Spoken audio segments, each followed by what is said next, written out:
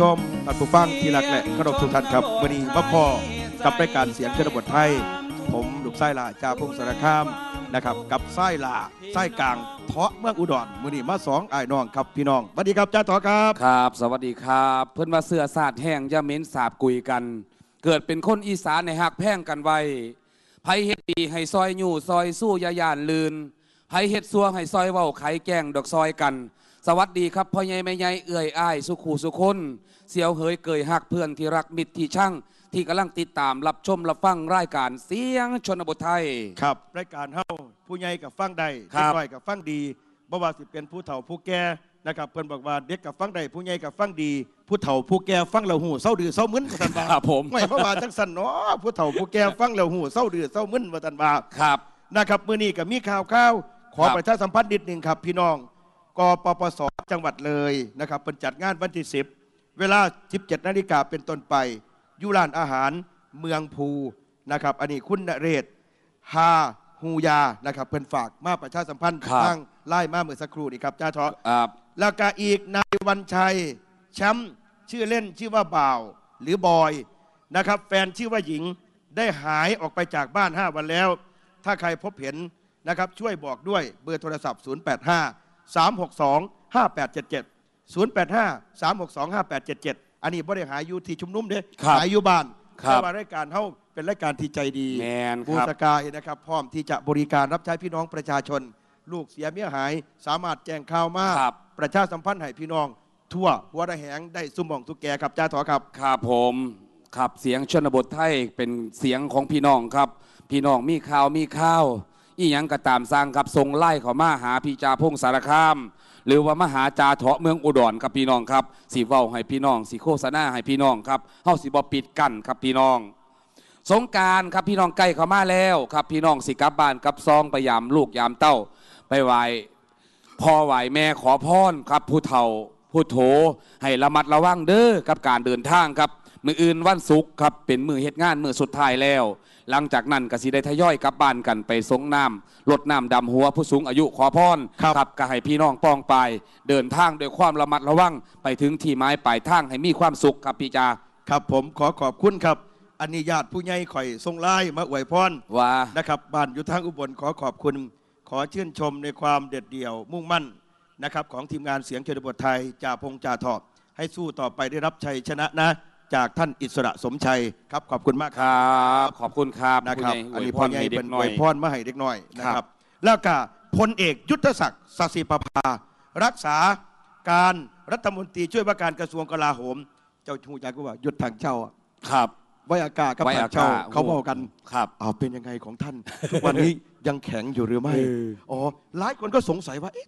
ผู้ครับเฒ่าสองคนมันเบาเรื่องอย่างอ๋อเออแข็งแรงเออตอนแรกข่อยกระสงนะคือคำมันบอปฏิดปะตอเป็นไงท่าน ทุกวันนี้ท่านยังแข็งอยู่หรือไม่ครับว่าเออมาถามไปถามมาแข็งแรงอยู่หรือไม่ว่าแต่ละทางเจ้าบอกกับไว้อากาศนะพลเอกประยุทธ์อะพลเอกยุทธศักดิ์สสิประภา รักษาการรัฐมนตรีช่วยว่าการกระทรวงกลาโหมพลเอกประยุทธ์จันทร์โอชา ผู้บัญชาการทหารบก และกับเจ้าหน้าที่ ความมั่นคงนะครับได้เดินทางลงในจังหวัดยะลานะครับกับเพื่อไปมอบนโยบาย และก็ให้กำลังใจกับกำลังพลอยู่ในเขตพื้นที่พลเอกประยุทธ์ครับเพิ่นได้เว่าถึงการสถาปนารัฐาธิปัตย์ตามที่คุณสุเทพเทือกสุบรรณเลขาธิการกปปสได้ประกาศว่า จุดยืนของกองทัพไม่เข้าทางการกระทำผิดกฎหมาย หรือสอรสก็ไม่ควรไปคุยกัน รวมไปถึง DSI ที่มีหน้าที่โดยตรง ผู้ใดมีหน้าที่จังใดกะเฮ็ดไป ใครที่ทำผิดกฎหมาย และขัดกับพรบรักษาความมั่นคง ก็ต้องดำเนินการยืนยันว่าตนจะไม่เข้าข้างใคร ทั้งนายสุเทพ และนายจตุพรพรมพันธ์ประธานนปชตนยืนอยู่ข้างความถูกต้อง ภายใต้ความอดทน และอดทนอยู่ทุกวัน ซึ่งไม่ได้มีความสุข พบทบเพิ่นย้อนไปถามผู้สื่อข่าวว่า อยากให้ทหารทำอะไร ทุกวันนี้ประชาชนยังสามารถพึ่งพาทหารได้ แต่จะให้ทหารทำอย่างที่กระแสข่าวรายวัน จนทำให้มีการปฏิวัตินั้นไม่ใช่และไม่ขอตอบว่าจะทำให้หรือไม่ นี่คือคำบอกของท่านพอบอทบครับผมไม่ได้เข้าข้าง และผมไม่ได้ปกป้องใคร ยืนอยู่กองทัพ ถือว่ายืนอยู่ข้ามความถูกต้อง ส่วนแนวคิดสถาปนารัฐาธิปัตย์หากใครทำก็ถือว่าผิดกฎหมาย เจ้าหน้าที่ต้องดำเนินการไม่มีชิปขับไปเบิ้งชิปพร้อมครับนี่ครับกับเรื่องนี้เป็นยังไงจุดยืนของท่านว่าจุดยืนคือไม่เข้าข้างการกระทำผิดกฎหมายของทุกพวกทุกฝ่ายยืนมาตลอดนะไม่เคยเปลี่ยนแปลงเลยนะวันนั้นถ้าผิดกฎหมายก็ไปว่ากัน วันนี้ก็สรสก็เอาเรื่องนี้ไปคุยกัน เห็นท่านที่สีใสก็ก็กำลังจะดำเนินคดี ไม่ใช่เลยก็กบฏครั้งที่ห้าครั้งที่หกแล้วมั้งคิดว่าที่ดีสีใสนั่นแหละคนนี้จะทำแล้วกันฆ่าสามมันคงไม่บอกเหมาะสมไม่เหมาะสมถ้ามันผิดกฎหมายมันก็ไม่เหมาะสมมันเป็นคำตอบของมันในตัวอยู่แล้วนี่แล้วผมถามว่าใครทำบ้างอะมีใครทำบ้างไหมก็ใครผิดพรบบ้างตอนเนี้ยก็ก็มีคนผิดหลายคนใครล่ะก็คุณสุเทพนะครับแล้วคุณสุเทพแล้วอีกแล้วใครอีกผิดพรบอะพรบอะพรบหมายถึงพรบอะไรครับพรบมั่นคงพรบพรบมั่นคงอะ ผิดไหมพื้นที่ไหนประกาศพรบบ้างก็เยอะครับอะเยอะแล้วใครผิดบ้างล่ะก็ผิดหลายหลายกลุ่มหลายฝ่าย เออพูดให้มันชัด ผมเห็นนะผมไม่ได้เข้าข้างกรุงเทพผมก็ไปเข้าข้างรัฐวุฒิหรือจตุพรไม่เข้าใครทั้งนั้นครับนะวันนั้นผมถึงบอกว่าทหารก็ทำหน้าที่ของทหาร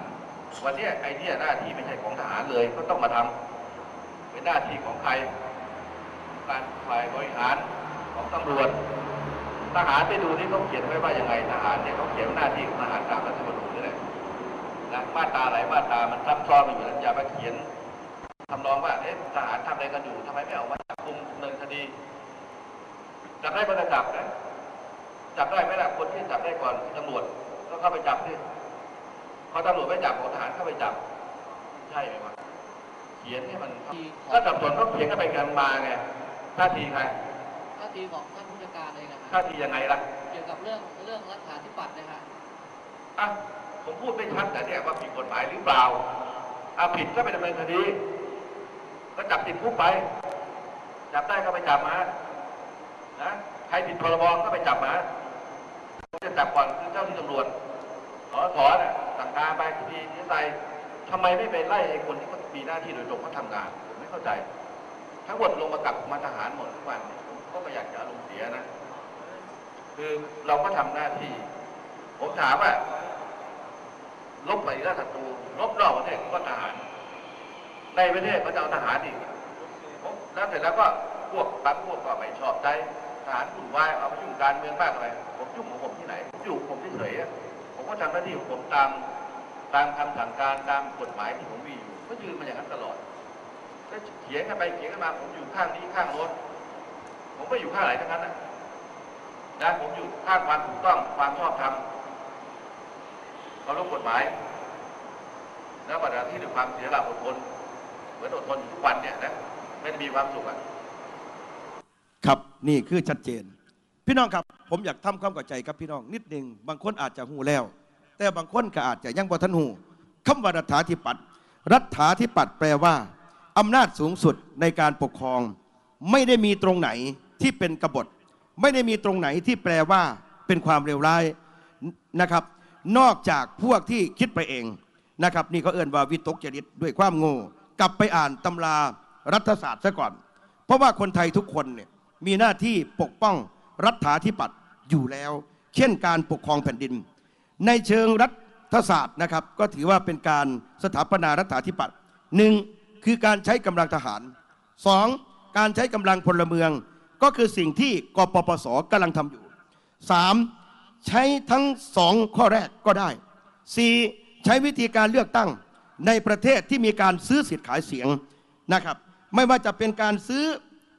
ขายเสียงมาก วิธีการเลือกตั้งสถาปนารัฐาธิปัตย์มักไม่ได้ผล แล้วก็รัฐาธิปัตย์เกิดขึ้นด้วยความยินยอม พร้อมใจของประชาชนจำนวนมาก รัฐบาลที่ซื้อเสียงเลือกตั้งมาก นะครับได้เสียงมาก็ถือว่าไม่ได้หมายความว่าเป็นรัฐาธิปัตย์ได้นะครับ เพราะว่ามีการช่อฉนและเมื่ออำนาจมาจากการปกครองนะครับ ให้ถูกต้องตามทำนองครธรรม ถ้ารัฐบาลใดก็ตามที่ไม่ยึดหลักตามทำนองคองธรรม ถ้ารัฐบาลใดไม่ยึดตามนี้ ก็ถูกล้มได้โดยประชาชน ดังนั้นการทวงรัฐาธิปัตย์จึงเป็นหน้าที่ของปวงมหาประชาชน ที่เขาจะมีสิทธิเสรีภาพ ในการทวงสิทธิของเขาคืนตั้งแต่แรก ทั้งนี้เราขอทวงคืนสิทธิ์ของเรา เป็นเรื่องราวที่ถูกต้อง ให้ผมถามเนี่ยว่า มันมันบอดีตรงไหนนะครับ ขอขอบคุณพี่วิจิตขณะนี้กำลังนั่งเบิงอยู่อยู่รัฐฟลอริดา อยู่ประเทศสหรัฐอเมริกา ขอบคุณครับพี่ครับครับ มาเบิงทางด้านนายนัทวุฒิครับพี่น้องครับ นัทวุฒิเปิดตัวมีชัย ลือชุพันธ์ครับมือกฎหมายช่วย สู่เทพ ยึดอำนาจ ฉีกรัฐธรรมนูญมาเบิงทางด้านนายนัทวุฒิเพิ่นว่าจังไดครับพี่น้องนัทวุฒิใสเกลือแกนนำนอปชกล่าวว่าคำว่ารัฐาธิปัตย์หมายถึงการรัฐประหาร โดยพรรคประชาธิปัตย์วสันเพิ่นว่าโอ้ยเพราะนายสุเทพเป็นเลขาพักประชาธิปัตย์ประธานพลว่าเลขาธิการพักแม้จะลาออกจากสมาชิกพักแต่ก็ เป็นผู้ทรงมีอิทธิพลและมีบารมีสูงสุดในพัก แม้แต่นายอภิสิทธิ์เวชชาชีวะหัวหน้าพักยังไม่มีบารมีเท่าวสันอันนี้คือนายนัทวุฒิเป็นผู้เว่าด้วยครับพี่น้องครับดังนั้นนายสุเทพถ้านายสุเทพทำสำเร็จก็เป็นการรัฐประหาร โดยพรรคการเมืองที่เก่าแก่ที่สุดในประเทศไทย เพราะแกนนำกกปสคนอื่น ๆ ก็ยังเป็นสมาชิกพรรคประชาธิปัตย์ถือว่าเป็นการเมืองที่อัปยศที่สุด นับจากการเปลี่ยนแปลงการปกครอง ในปี2475 ขอตั้งคำถามไปยังพรรคประชาธิปัตย์ว่า การที่นายสุเทพประกาศตัวเป็นรัฐาธิปัตย์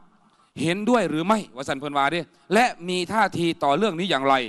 ถ้าเห็นชอบกับสิ่งที่นายสุเทพทำก็ขอให้เปลี่ยนชื่อพักเป็น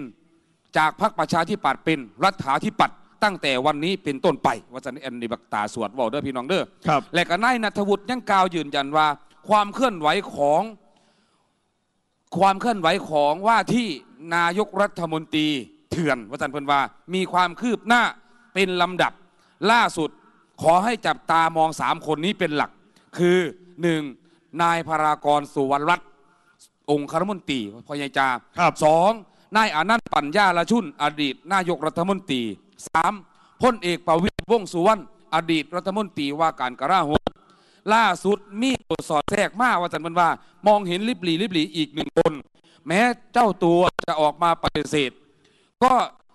จะมีการแบกม้าไปยัดให้ก็คือพลเอกประยุทธ์จันทร์โอชาผบทบนั่นเอง อันนี้นายนัทวุฒิเว่าพอยายจาครับ นี่แหละก็คือ ผมก็ยังอธิบายอย่างชัดเจนเลยว่า รัฐาธิปัตย์คืออะไรครับ ดีตรงไหนบ่ดีตรงไหนผมก็เว่าไปแล้ว แสดงว่า นัทวุฒิใสเกลือบ่เข้าใจ เพื่อนนี่เป็นหมอดูตะเฮงนี่ ครับ แสดงว่าหมอนี่มันบ่เข้าใจในด้านเชิงกฎหมาย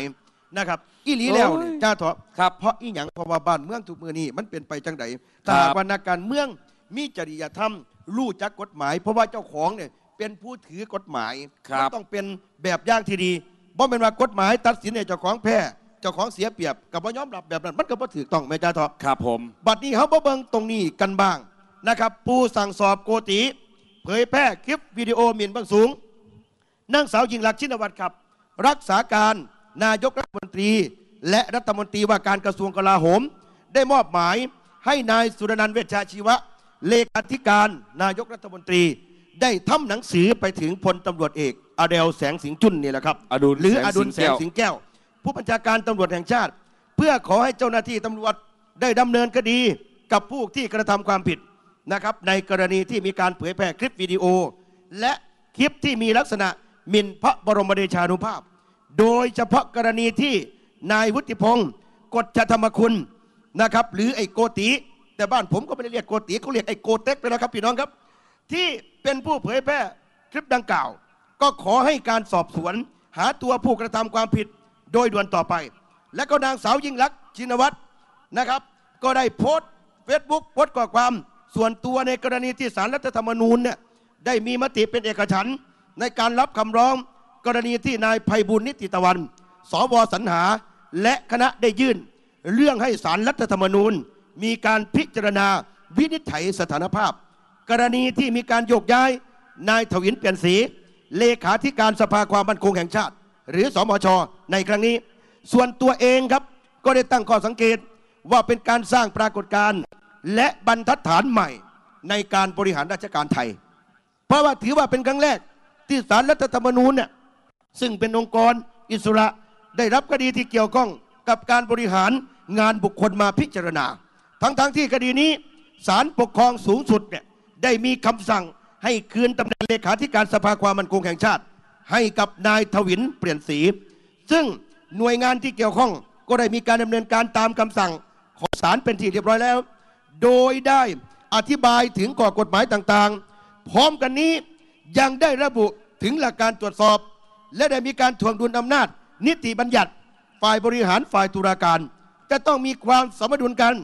ในปัจจุบันที่มีหน่วยงาน และสถาบันที่ทำหน้าที่ดังกล่าวอยู่แล้ว และหากฝ่ายทำหน้าที่ โดยยึดหลักการดังกล่าวนะครับ ก็ต้องทำให้การบริหารราชการแผ่นดินเป็นไปอย่างราบรื่น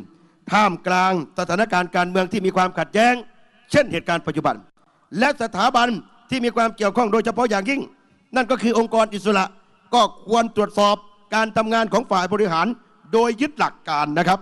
และทำตามหน้าที่ทำตามขอบเขตของรัฐธรรมนูญที่กำหนดไว้ โดยไม่ควรก้าวไกายอำนาจหน้าที่ฝ่ายนิติบัญญัติ แล้วก็หรือบริหารหรือตุลาการ และสิ่งที่สำคัญนั้น จะต้องนะครับจะต้องไม่สร้างความแตกแยกในสังคม ด้วยการดำเนินการในลักษณะสองมาตรฐาน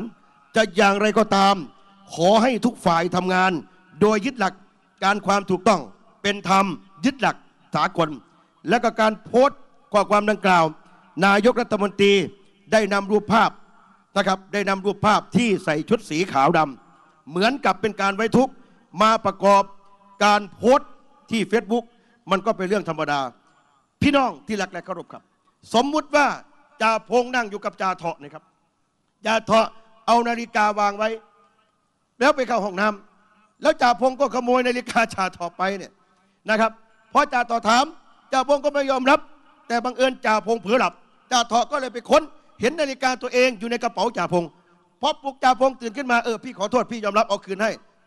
มันจะจบกันหรือเปล่าครับ มันจะแล้วกันเล่บ่ครับ จะไม่ต้องรับโทษเลยเหรอครับ ขอโทษเฉยๆมันพอเหรอครับ นี่มันเป็นความผิดอาญาฉันได้ก็ฉันนั้น ลักษณะนี้ก็คือลักษณะเดียวกันนะจ่าทอครับผมมาเบิงทางด้านที่ดาครับพี่น้องที่ดาลั่นโกติไม่ได้ขึ้นกับนปชวสันพันว่าหลังให้สัมภาษณ์จับจ่วงสถาบันนางธิดาทาว่าเศษแกนน้ำกลุ่มนปชเปิดเผยถึงกรณีนายบุติพงศ์โกจธรรมาคุณหรือโกตินี่แหละครับพี่น้องครับ แกนน้ำค้นเสือแดงปทุมธานี ให้สัมภาษณ์กับสื่อต่างประเทศ โดยมีข้อความจับจ่วงไฮไลท์และพาดพิงสถาบันอย่างชัดเจนว่าจังสี่ครับ แต่เดิมนายมุติพงศ์เป็นมวลชนคนเสื้อแดงธรรมดา ต่อมาก็ไปเปลี่ยนเป็นนีเจเสื้อแดงตนพูดอย่างนี้ไม่ได้หมายความว่าจะปัดความรับผิดชอบ เพราะไม่สามารถรับผิดชอบคำพูดหรือการกระทำของปักเจตชนได้ เนื่องจากขบวนการของเราเป็นเสรีชน มันไม่ได้มีการควบคุม และชัดเจนว่านายมุติพงศ์ไม่ได้ขึ้นกับนปช เพราะเป็นองค์กรที่ชัดเจนว่าสู้โดยสันติวิธีและสู้เพื่อประชาธิปไตย อันมีพระมหากษัตริย์ทรงเป็นพระประมุข โอ้จะเป็นเมืองน่านตายแล้วอีนางเหี่ยวเอ้ยแล้วมันก็ยังกล่าวว่านาจังงธิสีดานี่นางธิดากระบอกชัดๆนะเปียงยายฟังนางธิดาเออบอกยายไม่ค่อยหูเรื่องหูเล่าเลยเออธิดาบอกชัดๆนะแล้วยายฟังบ่ออกยายฟังบ่รู้เรื่องนะธิดาไอ้บอกดีๆนะเป็นด้วยล่ะและนั่งที่ด่าก็ยังกล่าวต่ออีกว่าสำหรับนายมุติพงศ์นั้นเขาไม่เคยเข้ามาร่วมกับพวกเราเลย ถามว่าจะรับผิดชอบเขาได้หรือไม่ ได้หรือไม่ ก็คงไม่ได้ แต่ถามว่าเราจะพยายามพูดเน้น ย้ำอยู่เสมอ เพื่อเตือนคนนั้นคนนี้ เราพยายามแล้ว แต่ว่าเราไม่ได้ใส่ไม่ใช่กองทัพที่จะไปห้าม ไม่ให้ใครพูดหรือทำอะไรไม่ได้ แต่เมื่อมีปัญหาเกิดขึ้น แล้วเราก็ให้ความเป็นธรรมกับทุกฝ่าย โดยต้องดูก่อนว่านายมุทิพงศ์เขาเป็นคนพูดจริงหรือไม่ หรือว่ามีการตัดต่อ อันนี้ก็ต้องให้ความเป็นธรรม ส่วนที่สองอาจารย์ทิดาว่าก็ต้องว่าไปตามเนื้อผ้าอะไรก็ตามที่มันผิดกฎหมายก็คือผิด ทั้งเรื่องทั้งนี้เรื่องนี้มันเป็นเรื่องของคนที่มีวุฒิภาวะไม่เพียงพอ อาจจะไม่รู้ว่าจะทำอะไรพูดอะไร คล้ายๆ กับนายสุเทพ เทือกสุมันเลขาธิการกกปส ที่บอกว่าจะเป็นรัฐาธิปัตย์นั่นเองเนี่ยไปโยครักบความผม ผิดให้เขาอีกอีเถ่านังเหี่ยว ว่าย่ายธิดาย่ายคือเบาจังสีเออ อันนี้คอยกระสีวิเคราะห์ย่ายกระสีอ่านเบิ้ง เห็นธิดาเบาเมื่อสักครู่นี้นะครับเมื่อนี้นั่งนั่งอีดอกนิ้วนะครับ มันโพสต์ลงเฟซบุ๊กให้พี่น้องย่ายสิเว้ากับพี่กับน้องเด้อ สารรัฐธรรมนูญบ่มีอำนาจว่าสิวินิจฉัยว่าท่านว่าบ่ว่าจะเป็นเรื่องเล่าการบ่รับอำนาจ และก็บ่รับคำวินิจฉัย ในกรณีโยกย้ายนายทวินไปสนเลยพี่น้องวะพอใจสิขาดคยบอกแบบเนี้ยเพิ่นบอกว่าการย้ายนายทวินไพศาลเนี่ยเออนายทวินเปลี่ยนสีนะครับ มันไม่ได้คืนตำแหน่งให้กับนายทวินเปลี่ยนสี จึงไม่มีความผิดเพราะว่ามันได้ขึ้นตำแหน่งแล้วว่าท่านว่า อยากจะถามว่าคนร้ายนะครับไปลักทรัพย์ พอเจ้าของเขาฟื้นตื่นขึ้นมาแล้ว มันจะหายกันได้เลยครับ ในเมื่อมันจำนวนต่อหลักฐานครับสองนะครับ นางนกยิ้วนะครับ นางนกยิ้วเรียกว่านกยิ้วเลยใช่ไหมครับอันนั้นนกแสกอันนี้นกยิ้ครัวบมันยุบสภา มันได้สิ้นสภาพการเป็นนายกแล้ว เป็นเพียงแค่รักษาการ เท่านั้นศาลจึงไม่มีอำนาจรับเรื่อง นี้ไว้วินิจฉัยเหมือนกับตอนที่พวกมันยื่นเรื่อง ต่อรองจากสารรัฐธรรมนูญเพื่อวินิจฉัยคุณสมบัติของอภิสิทธิ์หนีทหาร ต่อมายุบสภาเมื่อ 9 ธันวา56 ศาลจึงจำหน่ายคดีไม่รับวินิจฉัยอีกต่อไป เพราะนายอภิสิทธิ์ได้สิ้นสภาพไปแล้ว นี่ไม่รู้ว่ามันแกล้งโง่ เพราะว่านะครับเพราะว่ามันไม่เหมือนกันตามที่กฎหมายรัฐธรรมนูญเขียนไว้นะครับ เมื่อมีการยุบสภาหรือสภาหมดอายุ ความเป็นสสความเป็นรัฐมนตรี และนายกก็ต้องสิ้นสุดลงไปด้วยนะครับ แต่กฎหมายกำหนดให้รัฐมนตรี และนายกต้องรักษานะครับรักษานะครับรักษาการ กว่ารัฐบาลจะมารับตำแหน่งใหม่ พี่น้องครับเพื่อนๆบางคนอาจจะไม่เข้าใจกฎหมาย ขอให้เข้าใจตามนี้มื่อนี้เวลาเหมือนเป็นเวลา ผมครับกับจ่าเถาะต้องอำลาพระจากไปไป ไปเบิ้งสถานการณ์ติดต่อครับกับลุงกำนันสวัสดีครับ สวัสดีครับ